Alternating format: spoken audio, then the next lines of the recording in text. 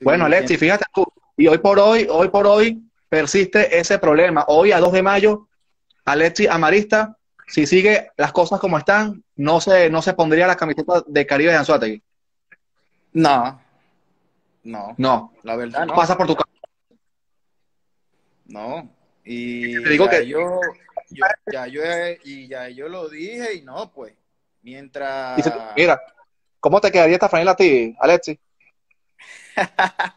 Ah, Coño, yo creo que bien. Bueno, ustedes lo saben, yo me la, me la he puesto dos veces en la serie del Caribe, ¿no? Y me ha quedado muy bueno, bien. y a eso vamos, a eso vamos, claro, porque, porque si tú no, si tú no tuvieses puesto una camisa como esta, como la, como la de Cardenales, entonces a ti no te darían ganas, porque no puedes saber cómo es el logado, cómo es el ambiente, la echadera de broma, que la verdad es una familia dentro del equipo Cardenales y además es el equipo con más poder dentro de la liga y que bueno, están, están en, en- en- en, digamos, en esa, en esa fase que ya el equipo está estructurado y que tiene proyección a ganar otros títulos más.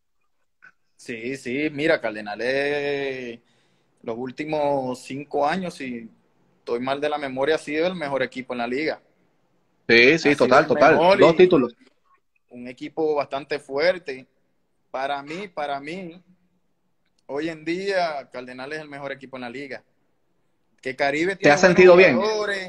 Y que hemos tenido 10 años muy buenos clasificando, pero hoy en día el mejor equipo en la Liga de Venezuela se llama Cardenales de Lara. No es porque, porque yo he representado al equipo y eso, sino es que los números hablan por sí solos, las finales que han tenido consecutivas, ¿sabes? Es uno de los mejores equipos.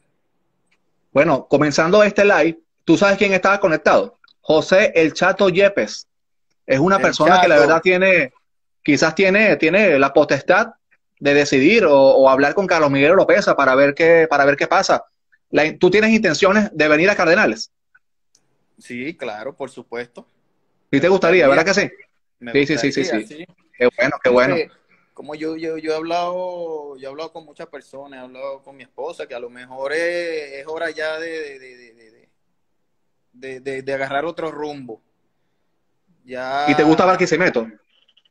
Sí, bueno, en Lara, donde sea, pero ya es hora de, de- de- de- como de, de abrir nuevos caminos, ya muchos peloteros saben en el equipo, lo que pasa es que no, no lo dicen por temor de que, que- que si lo votan, no.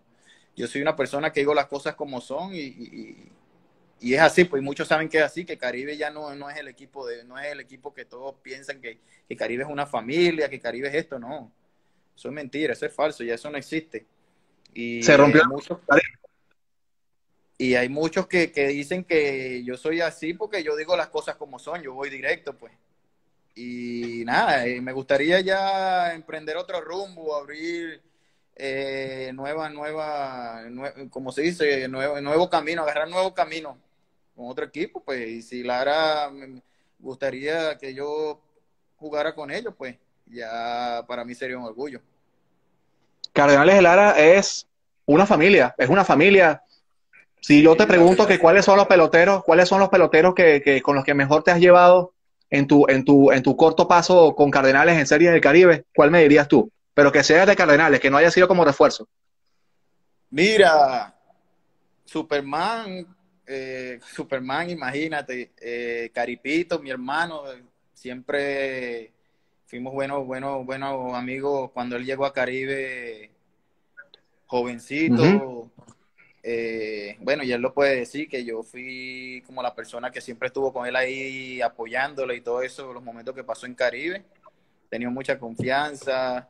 Eh, Querecuto, siempre eh, nos saludamos y cosas así. Pues para mí todos hemos hablado bien. eh, eh, me han tratado bien los dos años que he estado, que he estado ahí y siempre cuando juego en contra de ellos, tú me ves saludándolos a todos y así pues.